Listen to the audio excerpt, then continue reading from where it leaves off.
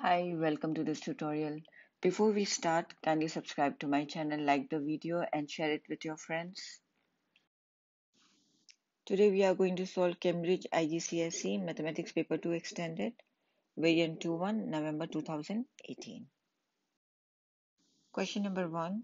Carlos starts work at 21.20 and finishes at 6.15 the next day. Calculate how long Carlos is at work. So his starting time is 21.20 and after 21 the next full hour is 22 right? 22 23 and 24 this is 20 minutes. If you add 40 minutes you will have 22 and this is one hour and one hour.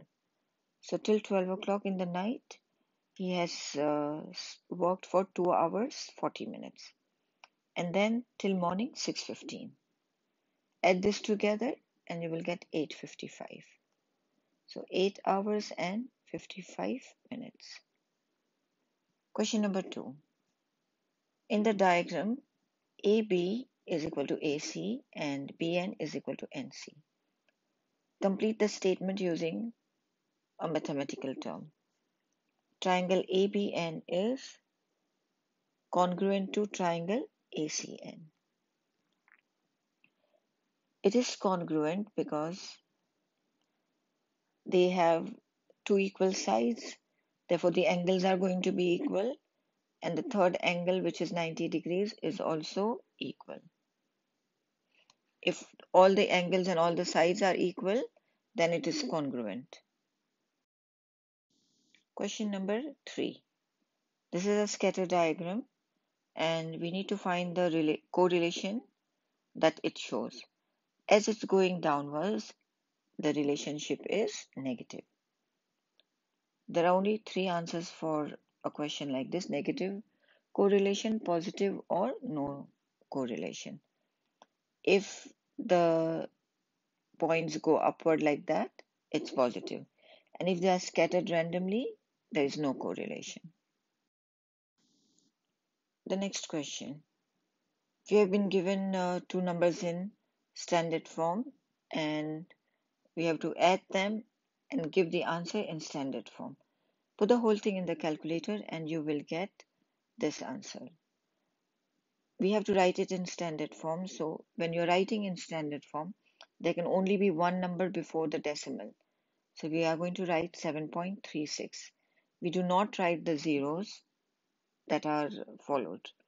Multiply by 10 to the power of the numbers that are there after the first digit. How many digits are there? 1, 2, 3, 4, 5, 6, 7. So this will be multiplied by 10 to the power of 7. Question number 5. We have to expand and simplify.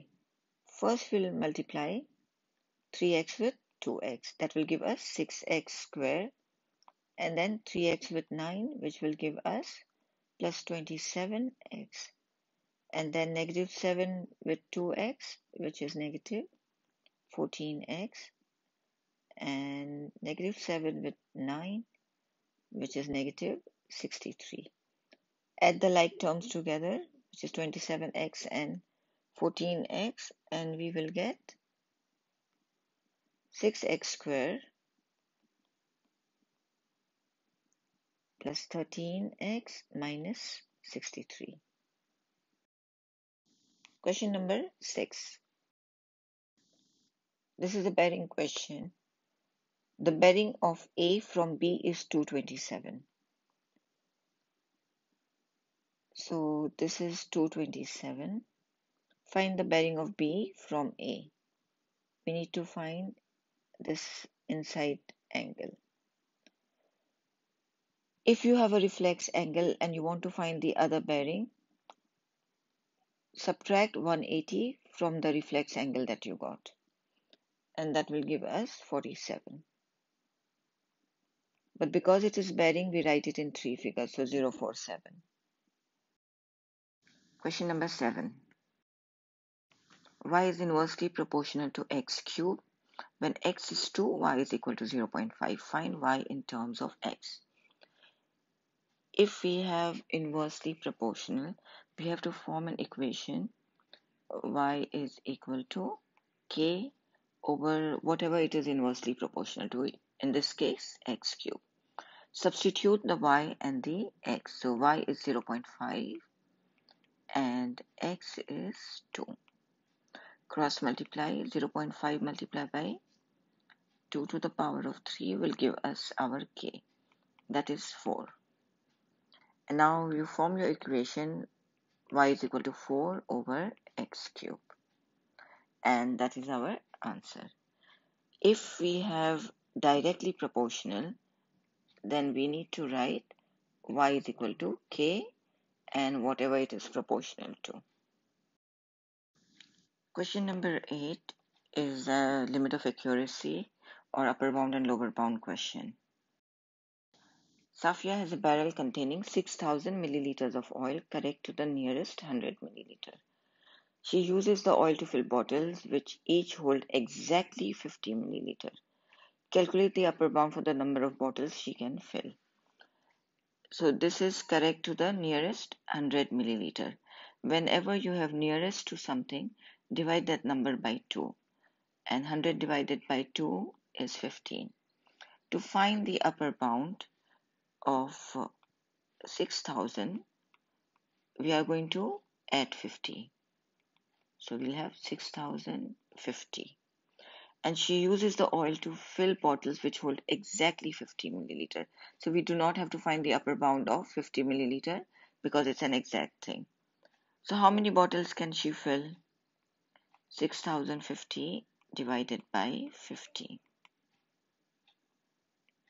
121 bottles. That's our answer. 9.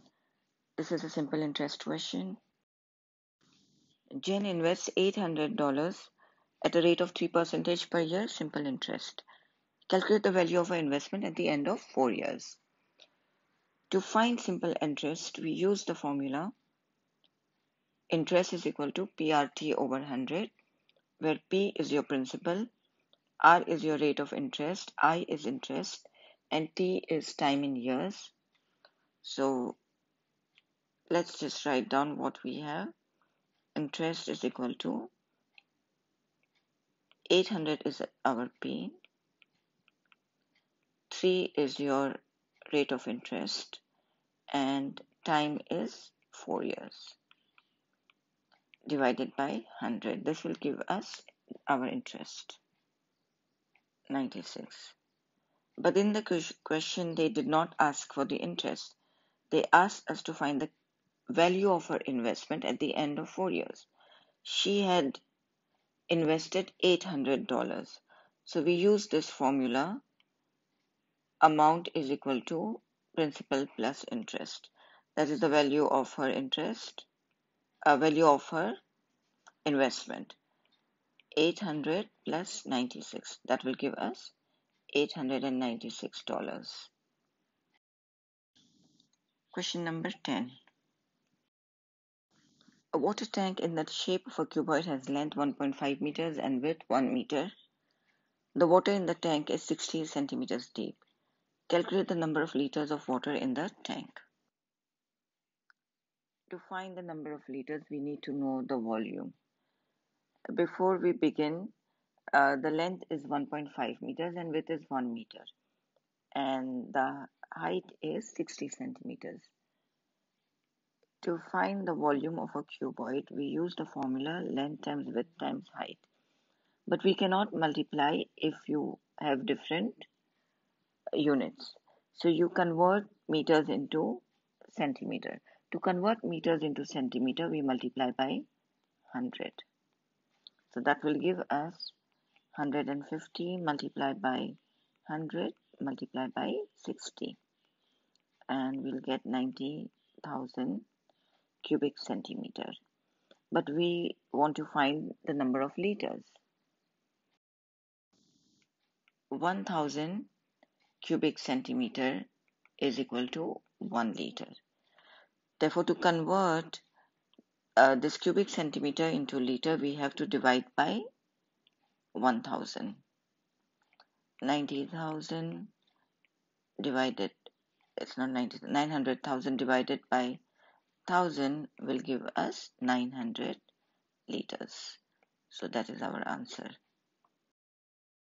Moving on to question number 11. This is a sequence question. We have been given five terms and we have to find the next term.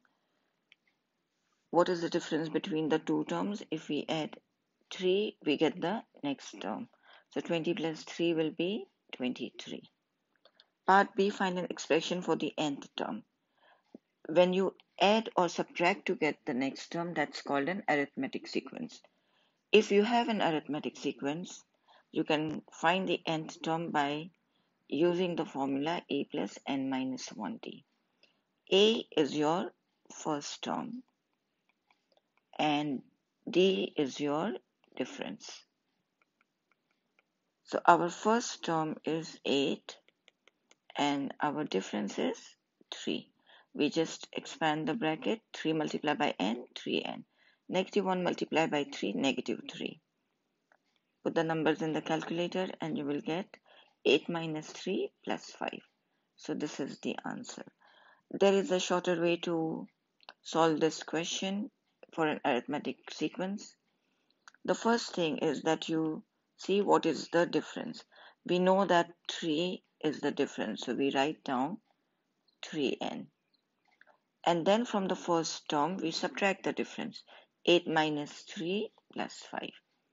So if you understand, you can use this method also.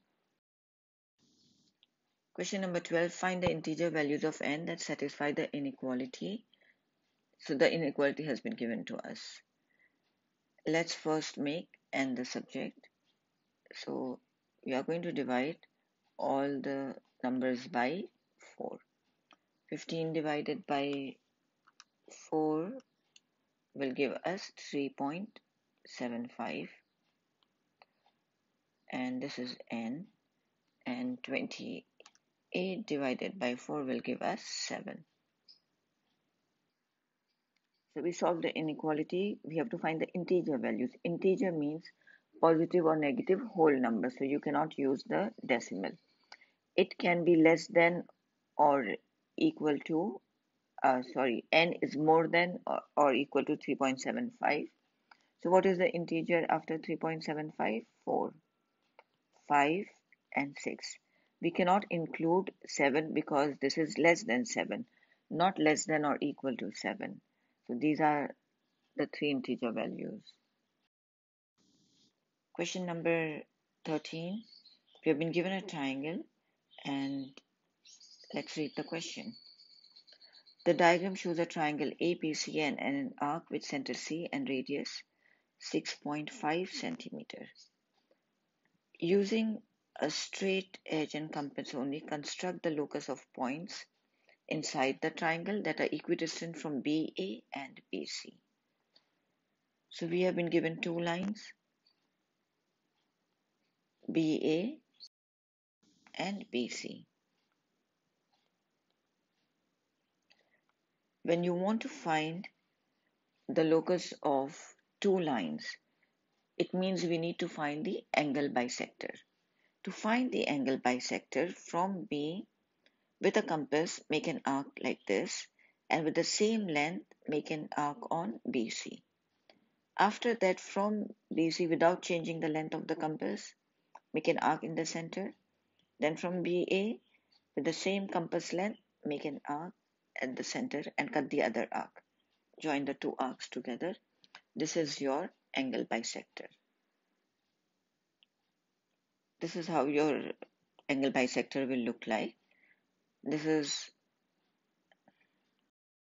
equidistant from BA and from BC. Part B Shade the region inside the triangle that is more than 6.5 centimeter from C and nearer to BA than to BC. So it is more than 6.5, that will be this part somewhere, and it is nearer to BA. So this is the shaded region because it is nearer to BA and it is more than 6.5. Question number 14 is a fraction question. Without using the calculator, we have to solve this fraction. And we must show all the working and give the fraction in the simplest form. So let's start. 3 over 8 is already simplified. This number here is an improper fraction. So mixed fraction, we have to change it to improper. For changing to improper, we multiply the denominator with the side number. So 4 multiplied by 2. Whatever answer you get, you add it with the number in the numerator. That will give us 4 multiplied by 2, 8 plus 1, 9 over 4. If the sign is a divide, we change the sign to multiply. And then the number after the sign, we flip it over. So it's 9 over 4. We will write it as 4 over 9. You can put this in calculator and you will get 1 over 6. Easy 3 marks. Question number 5. Now this is an algebraic fraction. The method to solve it is the same as any other fraction. You need to have a common denominator. That's the first step. I have a 3 here and I have x plus 2 here. So to make the denominator same, I'm going to times this by x plus 2. If I times in the denominator, I also have to times in the numerator. Remember to put the bracket. And I'm going to times 3 here. So now we have a common denominator. We can write it as one fraction. 3x plus 2 we have to expand the numerator. X times x will be x square. X times 2 is 2x negative 5 multiplied by x is negative 5x and negative 5 multiplied by 10 negative 10 plus 18 when we simplify this we'll have x square minus 3x plus 8 18 over 3x plus 2. Sorry, this is a 3 here. Now we are going to expand also the denominator, which will give us 3 multiplied by x, 3x, and 3 multiplied by 2 plus 6. When you are expanding two brackets, if you have x minus 5 and x plus 2. If the coefficient of x in both the brackets is 1, then you can use this method.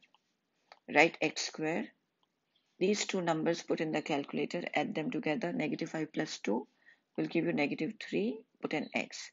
And then you multiply the two numbers. Negative 5 multiplied by 2 will give you plus 10. So this is a shorter way to expand your bracket. This brings us to the end of this video. For question number 16 onwards, kindly watch the second part. Thank you for watching.